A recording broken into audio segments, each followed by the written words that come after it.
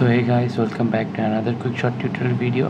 In this video we are going to learn how you can uh, get marketplace on your facebook. It's a very easy and simple process. Don't worry if you don't have a marketplace option on your facebook. So right now i'm going to show you how you can uh, get your marketplace on your facebook. So for this all you need to do is just open your facebook app. Just tap on this profile icon and now scroll down and from here tap on settings and privacy.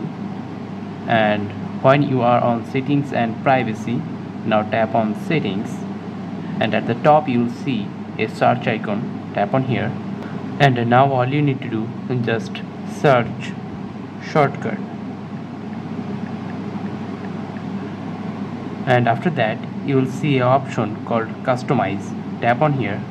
And now here you will see a option called marketplace and the next to a option called hidden. So tap on here and then now tap on pin. And we are done. Here as you can see that my marketplace button and here as you can see that my marketplace button has been added to my facebook. So whenever i tap on this and here as you can see that my marketplace has been enabled on my facebook following this simple process you can also enable marketplace on your facebook app.